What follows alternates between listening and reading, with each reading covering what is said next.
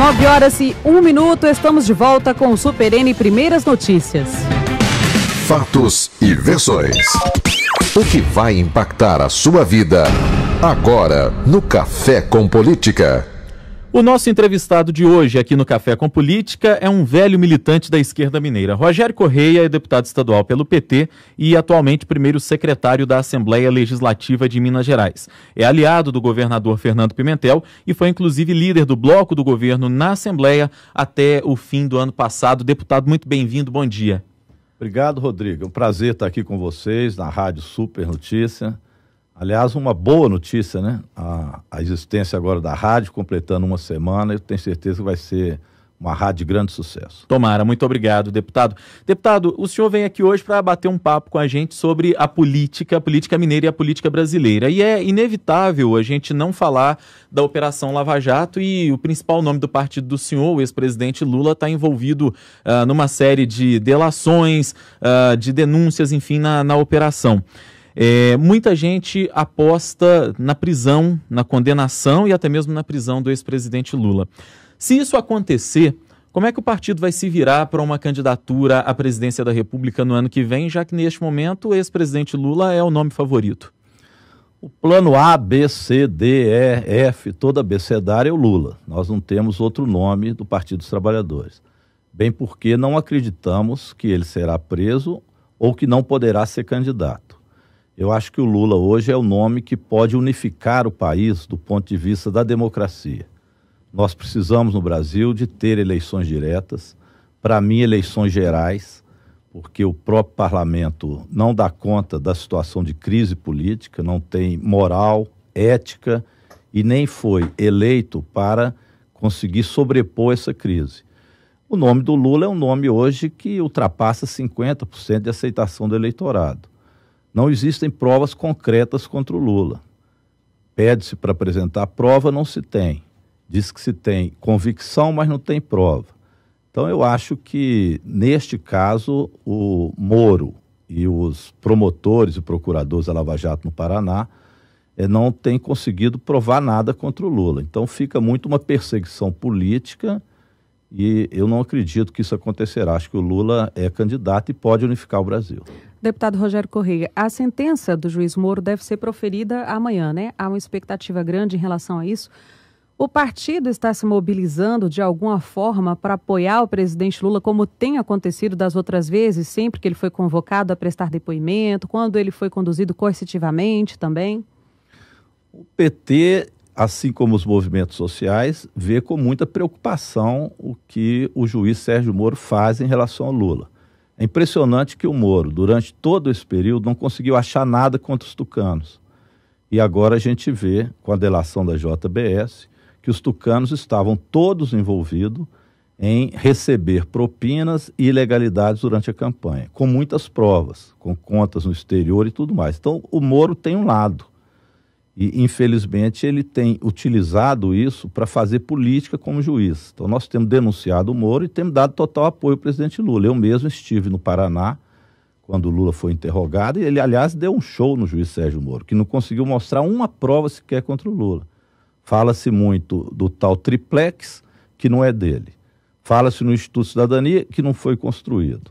Fala-se no sítio de Atibaia, que ele frequentava, mas que também não é dono. Então, nada foi encontrado contra o presidente Lula. Eu acho que existe um preconceito contra o Lula muito grande, porque o Lula foi o presidente que dividiu renda no Brasil, foi o presidente que colocou negros e pobres na universidade, foi o presidente, enfim, que inverteu a lógica de que governar é só para os mais ricos. Então, este preconceito contra o Lula vem de setores do judiciário.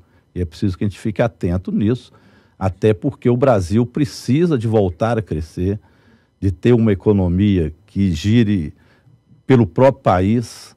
E nós fizemos isso quando governamos. Então, essa diferença hoje está sendo sentida. Essa ponte para o futuro que o governo Temer, junto com o PSDB, estão fazendo, só tem agravado a crise econômica e política brasileira. São mais de 14 milhões e meio desempregados. Então, se nós não retomarmos o desenvolvimento econômico com democracia, nós não temos condições de, do Brasil voltar a crescer e sair dessa crise. Deputado, o senhor é a favor ou contra a Operação Lava Jato? Sou a favor da Operação Lava Jato, como de toda operação que combata a corrupção. Agora, sou contra o juiz Sérgio Moro politizar esse debate e perseguir o presidente Lula, que é o que ele tem feito. Agora, faço uma outra pergunta para o senhor. O PT vem negando veementemente todas as acusações que existem contra o próprio partido, contra membros do partido, eh, contra o próprio ex-presidente Lula. Ninguém no PT errou, deputado? Todo mundo agiu corretamente? Claro que errou. A política brasileira ela precisa de ser alterada. O problema é que o PSDB, notadamente o senador Écio Neves, ele semeou vento e está colhendo tempestade. A política no Brasil funciona de maneira equivocada. O que manda é o poder econômico. Então, são as altas contribuições que são feitas principalmente para executivos, seja Caixa 1 ou seja Caixa 2. Mas o próprio Caixa 1 é também contribuição de empresas, contribuições cada vez maiores. Todos os partidos utilizaram disso. Este é o erro da política, tem que ser corrigido. O que, que corrige isso? Uma reforma política institucional no Brasil. Eu tenho por mim que a solução disso é uma Assembleia Nacional Constituinte, livre e soberana, para fazer reforma política institucional. O Judiciário precisa ter um controle externo. O Judiciário não tem. O parlamento é um parlamento onde a maioria, a grande maioria dos deputados, senadores, tem na testa o Caribe de uma empresa que o financiou. Então, esse tipo de política, ele, ele faz com que o Congresso Nacional seja um Congresso não com a cara do povo brasileiro, com pobres, com negros, com mulheres, mas sim um Congresso de ricos ou que trabalham para os ricos. E isso é muito da forma eleitoral e a forma institucional no Brasil. Este é o erro do PT. Nós participamos de um procedimento em que todos participavam. Se misturou. Aí eu acho que se misturou. E além de se misturar, o Partido dos Trabalhadores ele não mais se colocou para fazer essas mudanças com a radicalidade necessária. O senhor defende, então, um PT mais radical a partir de agora, de volta às origens, digamos assim? Defendo, assim como defendo também que esta reforma política seja o centro das preocupações do PT. Se o Lula retornar, e eu espero que retorne para a presidência, não tem como o Lula retornar e fazer do mesmo. Uma reforma política tem que estar no centro das preocupações do povo brasileiro, assim como uma reforma tributária que divida a renda e uma reforma também para a democratização da mídia no Brasil. Essas três reformas são fundamentais para qualquer governo democrático funcionar bem no Brasil. Deputado, é óbvio que o Lula é, um, é o pilar do PT, né? A gente, mas a gente vive o seguinte: a gente está acompanhando a Lava Jato, quer dizer, ele está para ter uma sentença proferida. Claro que o partido ele pensa no melhor, mas se por acaso acontecer é, do, do ex-presidente ele ser realmente julgado, condenado. Isso não demonstra a, a fragilidade do PT? Quer dizer, teve o impeachment da presidente Dilma, o Lula está nessa situação. Se por acaso acontece dele também não sair bem desse processo, o que, é que vai acontecer com o PT? Isso não demonstra que o partido ele não está bem estruturado? Quer dizer, ele se apoia só na figura do Lula? Ele não tem outros líderes? O Lula é o nosso líder principal e ele é capaz, repito, de unificar o Brasil. Então nós não podemos nos abster de apresentar ao povo brasileiro o nome do Lula, que aliás em todas as pesquisas tem se mostrado aquele capaz de governar o Brasil, em especial para os mais pobres. Então por que impugnar o Lula? Só se houvesse provas contundentes, que não existe. Se o juiz Sérgio Moro insistir em perseguir o presidente Lula, o PT vai à ONU, nós vamos estabelecer, inclusive, contatos internacionais para denunciar o que nós achamos que seria um segundo golpe no Brasil. O primeiro foi tirar a Dilma. Por que, que tirou a Dilma? Pedaladas? Ora, isso não foi argumento real para a retirada da presidente. Houve uma junção de interesses do senador Écio Neves, que tinha perdido a eleição, que se juntou ao Temer, que era o vice-presidente traíra, e, e com Eduardo Cunha, que está preso e comandou a corrupção toda no Congresso Nacional. Esses formaram a maioria no Congresso Nacional e deram um golpe no Brasil. Este golpe levou a uma crise política e aprofundou a crise econômica de tal forma que hoje eles não têm saída para o Brasil. O Temer está para ser preso, o Aécio está para ser preso, e de repente a culpa eles ainda querem julgar no presidente Lula e na Dilma. Se o Aécio tivesse tido a paciência de esperar e, fosse democrático, talvez essa crise não fosse desse tamanho. Deputado, o senhor fez aqui um, um, um meia-culpa é, de que o PT acabou agindo diferente daquilo que sempre pregou, inclusive na sua essência, na sua origem. Mas aí eu faço o seguinte questionamento: por que, que o partido não faz esse reconhecimento de público uh, e, e, e, faz esse meia-culpa, esse reconhecimento de erro? Às vezes fica parecendo que o partido não reconhece que houve ruído, que houve algum erro no meio dessa trajetória, no meio desse caminho. É, é, seria demonstrar fragilidade, mas por que não fazer esse reconhecimento, inclusive para se humanizar, talvez, diante da, de toda essa crise, diante de tudo isso? A autocrítica é importante, eu concordo com você, Rodrigo. O PT teve erros, óbvio que teve erros. PT julgou o jogo e não quis mudar a regra do jogo. Essa regra do jogo é uma, uma regra é, que não é boa para o sistema eleitoral e para a democracia brasileira, porque ela faz com que você tenha um parlamento muito. É, é, um parlamento não representativo é, realmente dos interesses do povo brasileiro. Então, Por que não mudou quando estava no poder, deputado? O Lula chegou a mandar reforma política, mas o, o, PT acabou, na minha opinião, não fazendo com que isso fosse essencial da mudança na política brasileira. Nós perdemos a chance de fazer isso. Tem que ser feito. Acho que a melhor autocrítica do PT agora é insistir na reforma política institucional.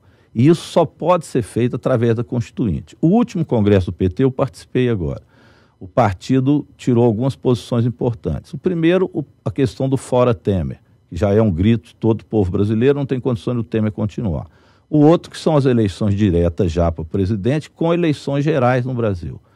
Uma terceira questão é nenhum direito a menos, porque não se pode julgar a culpa da crise em cima da aposentadoria dos trabalhadores e tentar fazer uma reforma trabalhista para tirar direito.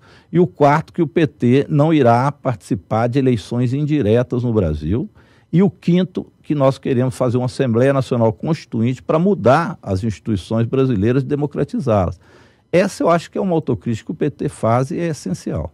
Deputado, essa entrevista também está sendo transmitida pela nossa live no Facebook e alguns é, ouvintes, alguns seguidores começam a participar aqui. E o Osiel Sabino, que ele acompanha a gente aqui, ele faz a seguinte colocação. Agora há pouco o senhor falava que o Moro ele tem uma perseguição com o ex-presidente Lula. Mas ele ressalta que juiz, ele não, é, ele não tem nada contra, na verdade. Ele julga o que chega para ele, né? As investigações, o que é colocado para ele, as denúncias, nesse caso do Ministério Público. Então, ele está julgando que chega para ele as investigações que são feitas pelo Ministério Público. Então, esse argumento de que a culpa é do Moro, de que a perseguição é do Moro, não é frágil? Isso é a pergunta do Osiel Sabino, nosso seguidor aqui no Facebook. Osiel, o Moro foi flagrado com fotos, é, primeiro enaltecendo a Aécio Neves. Era, não conseguiu ver nada. Disse, quando perguntado por que, que não tinha nada de Tucano, disse que não, nada tinha chegado para ele. O Delanhol vive dando, que é o, o procurador, é, agora palestras, que ele inclusive cobra, contra o Lula, num PowerPoint ridículo, que colocou o Lula no centro do universo como grande problema da crise moral no Brasil, que evidentemente não é verdade. Então, sinceramente, é, essa, essa Lava Jato no Paraná, do Moro e do Delanhol, não são isentos eles são nitidamente partidários. Aliás, a Polícia Federal no Paraná, vários deles foram encontrados no site desses policiais federais críticas à, à presidenta Dilma e enaltecendo Aécio Neves como candidato.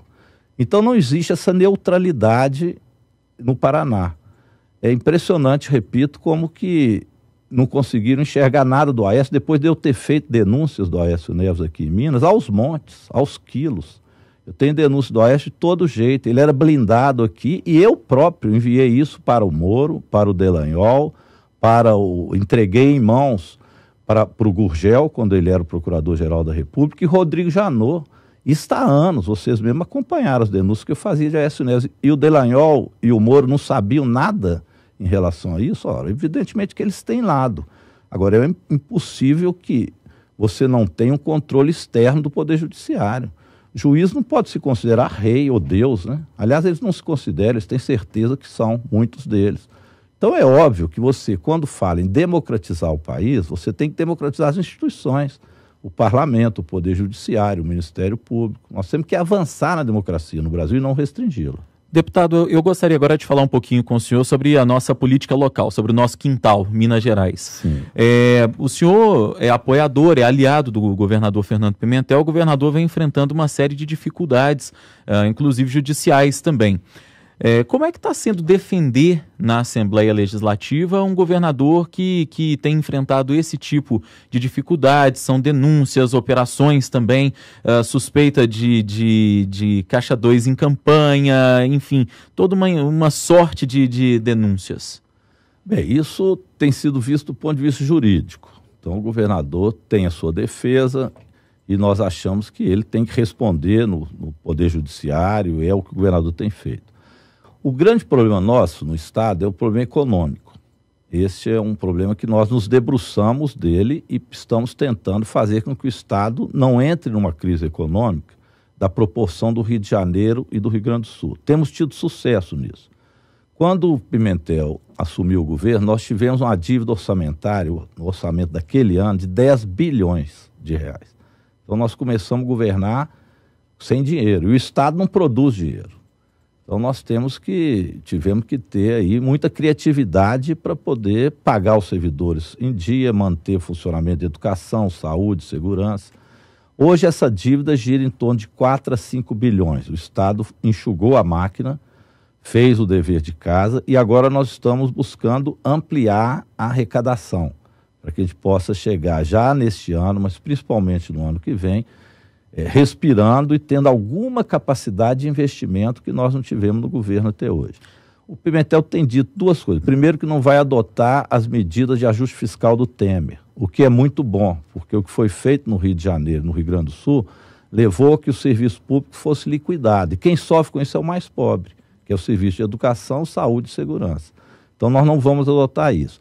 E estamos propondo para o governo federal fazer um acerto de contas da chamada Lei Candir, ou seja, fazer um acerto daquilo que nós devemos à União e o que a União deve ao Estado. Se nós conseguirmos fazer esse acerto de contas, ele é possível, porque o próprio STF julgou que até novembro a União terá que repor aos estados o que ela não repôs pela não cobrança de CMS das empresas exportadoras, nós teremos aí condições de fazer uma retomada do crescimento também em Minas Gerais. Então, essas são as medidas que nós estamos tomando. Na campanha de 2014, o governador Fernando Pimentel prometeu uma série de obras aqui para a região metropolitana. Questão do anel rodoviário, é, conclusão do metrô, conclusão da duplicação da BR-381 na saída para o Espírito Santo. Se não fossem obras que envolvessem diretamente o governo do Estado, mas, enfim, buscar influência política para que tudo isso acontecesse. E aí, uh, se deparou, ao chegar ao governo de Minas, Minas com essa crise econômica que o senhor falou agora há pouco. Na campanha de 2014, e a gente já está no terceiro ano do mandato do governador, não faltou pés no chão ao prometer tudo isso. Não, isso inclusive não complica a situação eleitoral dele, especificamente aqui na região metropolitana, para uma eventual tentativa de reeleição, não?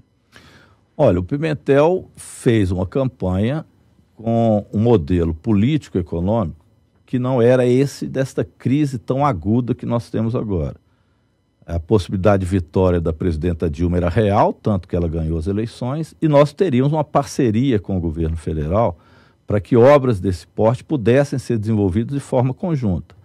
Tivemos o golpe no Brasil. A presidenta foi destituída, a crise política e econômica se aprofundou. Mas antes mesmo da presidente Dilma sair, a gente já estava sem perspectiva para essas obras, deputado. Ah, mas, por exemplo, a obra na, na BR para para Valadares, etc., estava em pleno andamento ainda com a presidenta Dilma. O governo federal suspendeu tudo. Ele acabou com o PAC, que era uma retomada que a presidenta Dilma prometia fazer.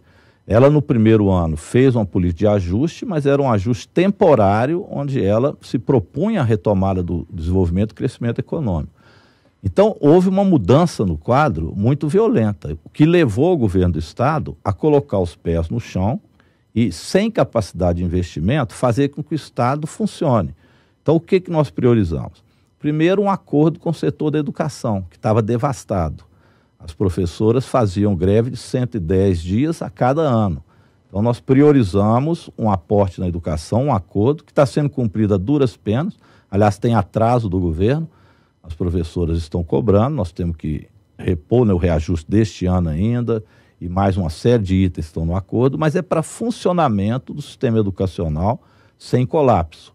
A mesma coisa, saúde e segurança pública. No caso da segurança, o governador Anastasia fez um acordo com a Polícia Militar que nós cumprimos. Então, apesar de todas as dificuldades, os reajustes foram dados e a Polícia Militar tem recebido o reajuste quase todo no nosso governo. Então, nós estamos com os pés no chão, fazendo com que o Estado não vire o Rio de Janeiro.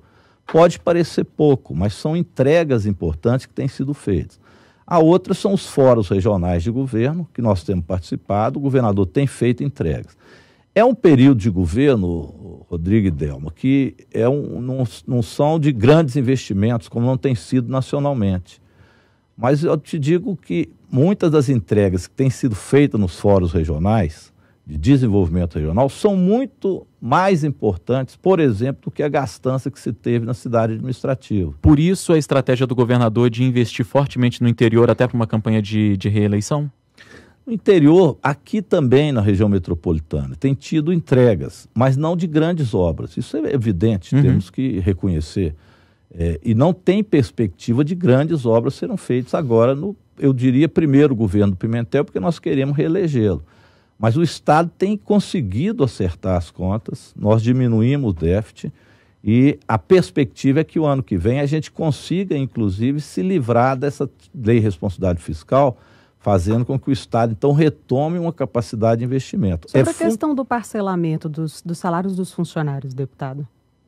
Eu, eu creio que ano que vem nós conseguimos resolver isso, com as medidas que estão sendo tomadas. Uma delas que eu queria insistir é o acerto de contas. Isso é uma possibilidade real. Então, a União deve a Minas Gerais 135 bilhões. É bom entender o que aconteceu com isso. A tal da Lei Candir, que foi feita pelo governo Fernando Henrique, ela isentou as grandes empresas exportadoras de pagar imposto ICMS Estado. Então, as mineradoras não pagam imposto, porque são produtos de exportação. As grandes empresas exportadoras de grãos também não pagam imposto. Então, isso foi deixando Minas Gerais numa situação é, de pouquíssima arrecadação. A União teria que repor a ausência de pagamento de imposto e nunca repôs. Então, ela nos deve 135 bilhões. Se nós fizermos um acordo com a União de pelo menos não repassar 300 milhões que a gente repassa por mês para a União, nós zeramos o déficit Minas. Então, esse tipo de acordo, nós estamos fazendo uma ampla campanha para fazê-lo. O segundo ponto importante disso é não permitir a venda das usinas da CEMIG. O governo Temer quer colocar em leilão quatro usinas da CEMIG, que significaria a privatização de metade da CEMIG. Isso levaria a um estrangulamento da maior empresa nossa, que é as Centrais Elétricas de Minas Gerais. Então, esse é um outro patamar de disputa que nós temos feito em Minas e estamos tentando unificar politicamente para evitar esse novo colapso na CEMIG. Muito bem. Deputado estadual Rogério Correia, do PT, nosso entrevistado de hoje no Café com Política, muito obrigado pela presença. Bom trabalho para o senhor. Eu que agradeço e foi muito bom aqui conhecer a Rádio Super Notícia e desejar a vocês um bom trabalho.